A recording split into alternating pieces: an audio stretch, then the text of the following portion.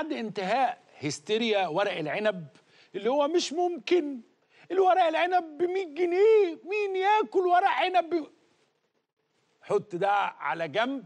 بدأت هستيريا. البامية ب 200 جنيه حرام عليكم هاكل بامية زي طبعا البامية مش أوانها. وورق العنب كان لسه مش أو... يعني كل الحاجات دي لازم كان يبقى سعرها غالي. انما طبعا هو لازم يكون في نوع من أنواع الهستيريا إنه وإحنا نعمل إيه والبامية دي وكأنه يعني أنا أعرف عدد كبير من البشر ما يحبش البامية خالص. إنما طبعا هو ال- اللي عليه العين هو ده اللي نعمل عليه مشكلة ونتحدى هو في غلا آه إنما مش غلا البامية مش غلا ورق العنب مش الحاجات دي. إنما المهم أكيد حضراتكم ابتديتوا تلمسوا أن أسعار الخضر والفواكه بدأت في الهدوء.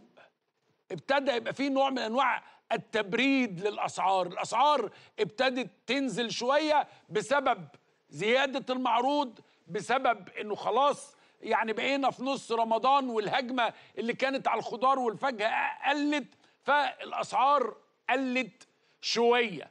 ما قلتش إنها بقت رخيصة إنما قلت شوية وبقت ممكن التعامل معها. يعني ممكن إن الواحد يعمل طبخة. طبعا ما زال البروتين بأنواعه سواء كان فراخ أو لحمة غالي. يعني أنت عشان تعمل وجبة فيها بروتين إذا كان لحمة أو فراخ تبقى غالية. أنا بس قبل ما أتكلم في الأسعار بلقى حد يروح عامل إزاي؟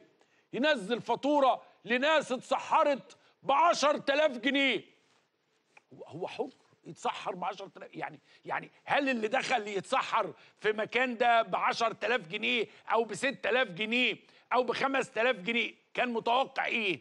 يعني هل جات له صدمة؟ هو عارف هو داخل فين وهيدفع كام وأكيد راح هناك قبل كده. إنما تتحط للناس حرام عليكم طب وانت ليه بتتسحر؟ انت ليه انت عايز تتسحر ب 5000 جنيه أو 6000 جنيه؟ اللي عايز يتسحر هو حر حرام وكتير. آه بس هو زي ما عايز. جايز ياكل فول بالذهب يا أخي.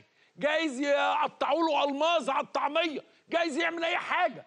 جايز يجيبوا له آه يعني آه الفول محطوط في أواني مرمرية. هو حر.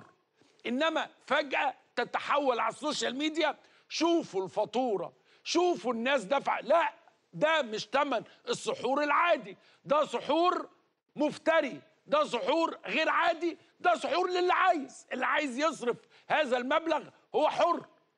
حد ضحك عليه والمبلغ كتير وهو كتير طبعا وخارق للعادة وبتاع بس